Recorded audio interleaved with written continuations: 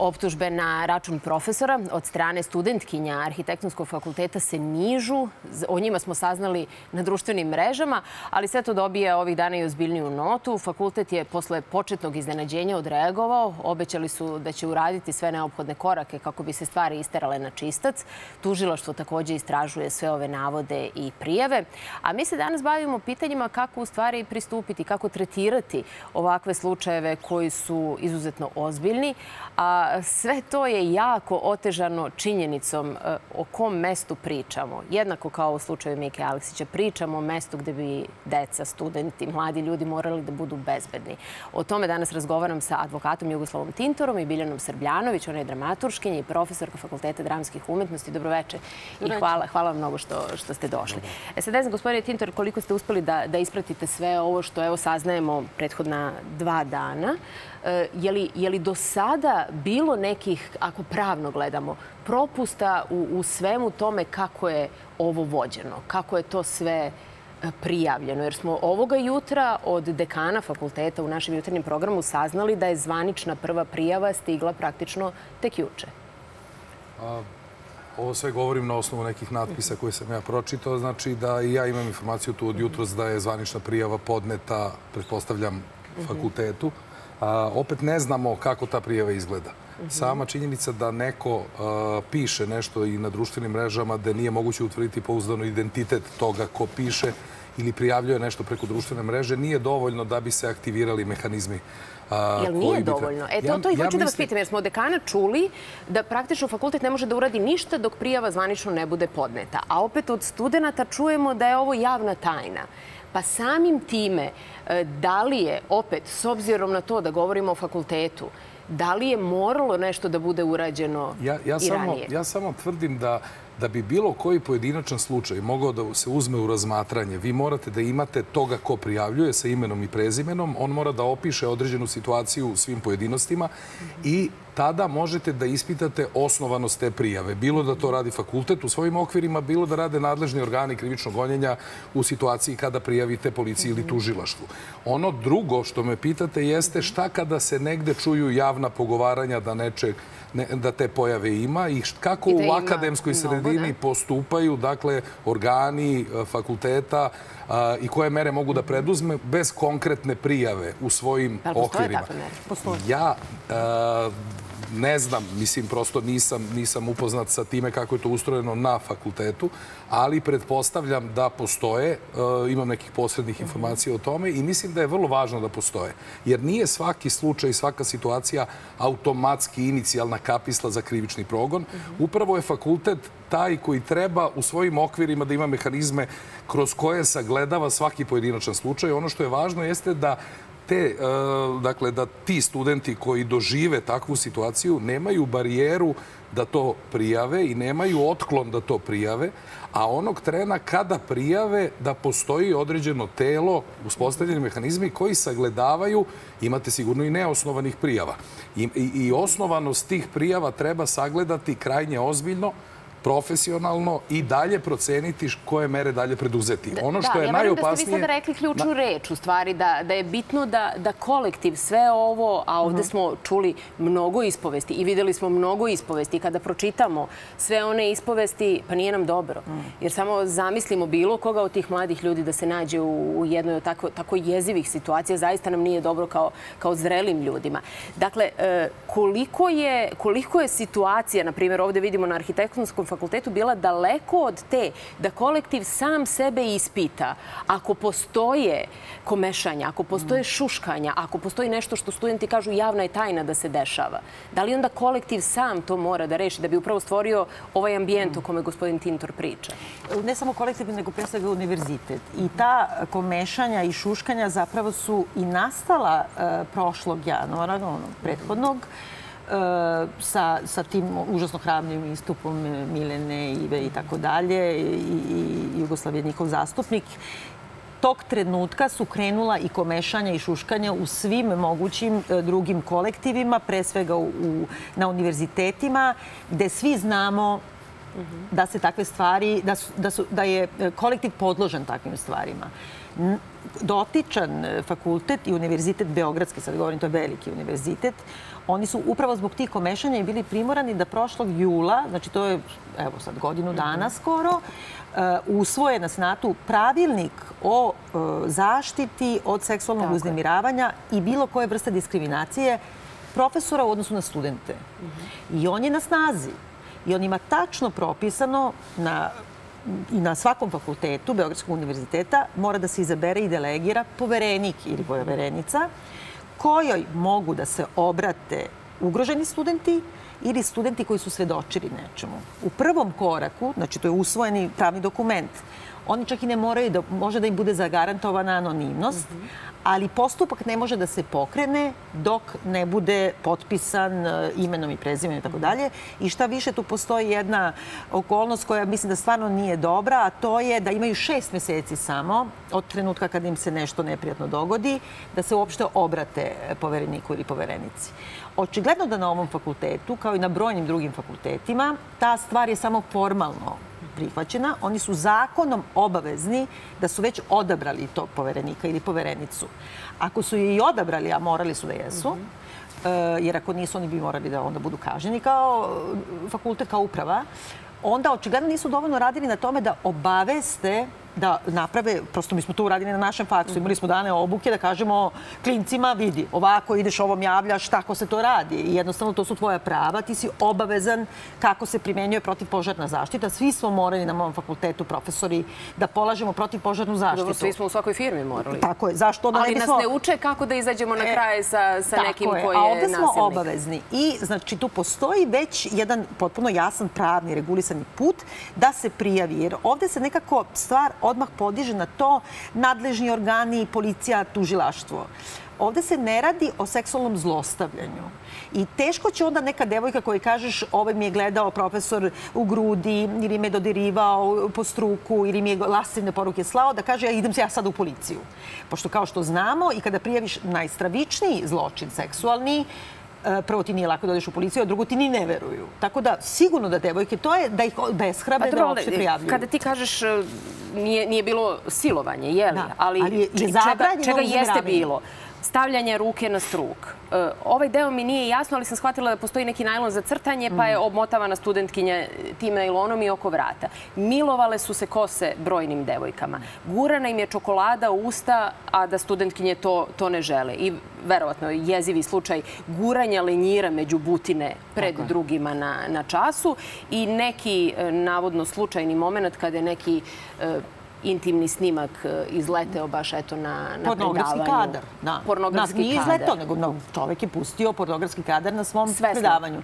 Svesno ili ne, on je odgovoran za to što pušta. Ne može nesvesno da ti uleti pornografski pa, snimak da u tvoju, može. pa mislim... Verujem da ne može. E sada, da. ako je ovo sve u formi, e, znači na, na Instagramu je bio pušten dokument koji su studenti popunjavali i gde je traženo e, od njih da daju svoje iskustva na, na predavanjima konkretnog profesora. Šta hoću vas da pitam, je li to e, svedočenje jednako kao svedočenje, bilo koje svedočenje, je li ono pravno prihvatljivo?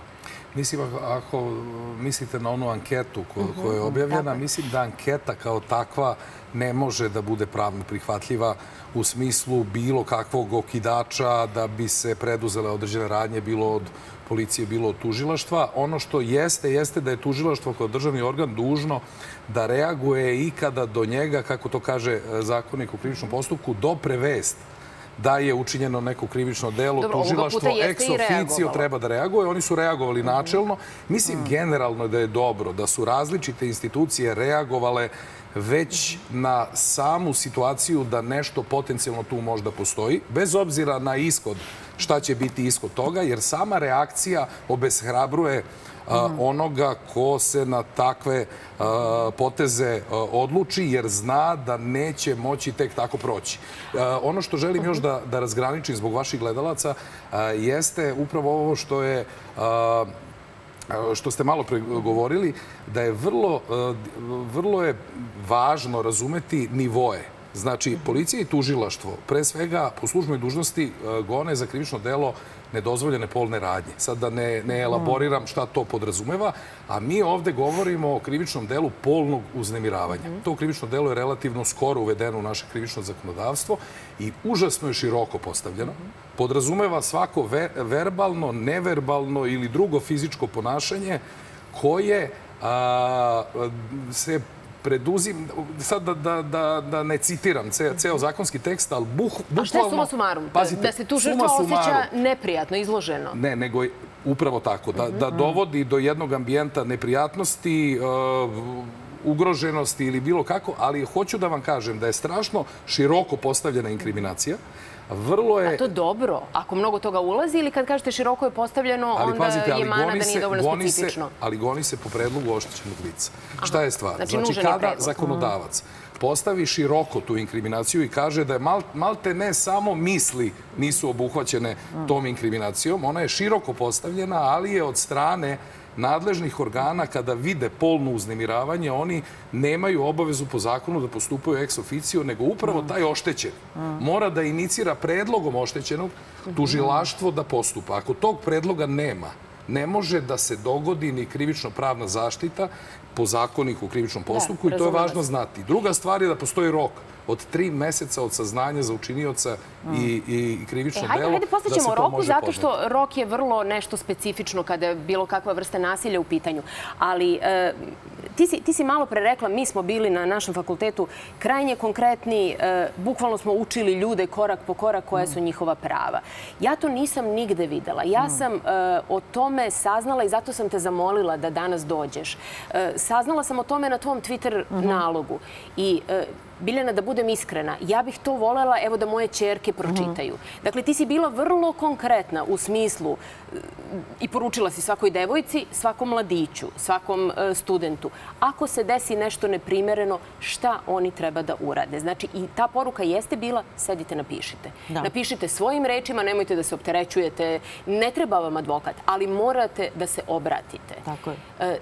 Znaju li to naši studenti? Ili, ili je ono što mi je krajnje logično, strah od posledica i dalje prisutan? I strah od posledica i to je jedna vrsta neprijatnosti i mislim, evo sad, nas dve kad se zateknemo u situaciji, sad ne govorim o nasilju seksualnom ili bilo kako da, ali e, neprimerenog e, ponašanja prema nama. Sa u našim godinama nekako skupiš snagu da odgovoriš, a nekad ni ne odgovoriš, nego se skloniš. E sad zamisli ti devojke prve, druge godine, mm -hmm. koje dolazi profesor pred svedocima svojim kolegama, znači drugim e, asistentima i tako dalje, koji čini takve neprijatne radnje. Znači ona mora da bude, kako da kažem, ona mora da bude neka ti i ja, Pa i to je onda pitanje da će istog sekunda da reaguje. Drugo, e, one ne znaju da sama činjenica da nisu tog trenutka reagovale na času, jer su zanemele, bilo im je neprijatno, nisu znali šta da rade. Neki se nasmeju, jer je to isto reakcija stida i ne znaš šta ćeš da, da uradiš.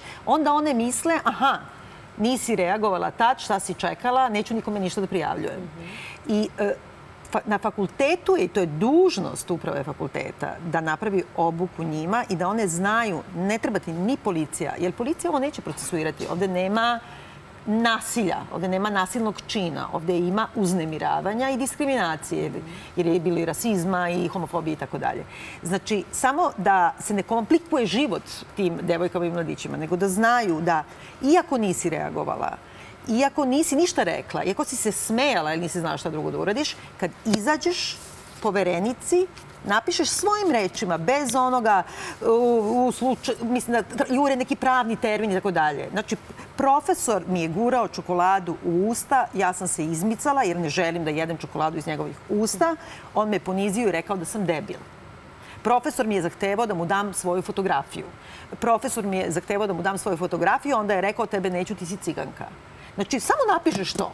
Desilo se u tom i tom kabinetu, tad i tad. I potpis. I potpis. I ne moraš ti uopšte da kažeš bio je ovaj tu, bio je onaj tu. Dalje je na tom povereniku da sprovede proceduru, da utvrdi ko je bio prisutan, mm -hmm. da li e, ta osoba koja prijavljuje govori istinu ili ne. Jer moram da naglasim, postoji zaprećena kazna za lažno prijavljivanje mm -hmm. u samom univerzitetu kod nas na Univerzitetu umetnosti za lažno prijavljivanje do 30, mese, do 30 radnih nedelja ostranjenja, znači izbacuju te, ono, padaš godinu, izbacuju te 30 nedelja, sediš kući. A dobro, ovo je važno, važna poruka svima onima koji kažu, a te devojke foliraju, one skreću pažnju na znači, sebe. I već, čuli, smo, čuli smo naravno ponovo ceo, ceo serijal e, raznoraznih optužbi. E sada, e, ako, ako naša deca sazreju, ako, ako shvate da ovo što im Biljana kaže, da to jeste način postupanja, ako sednu, uspeju u sebi da prevaziđu, pošalju taj e-mail,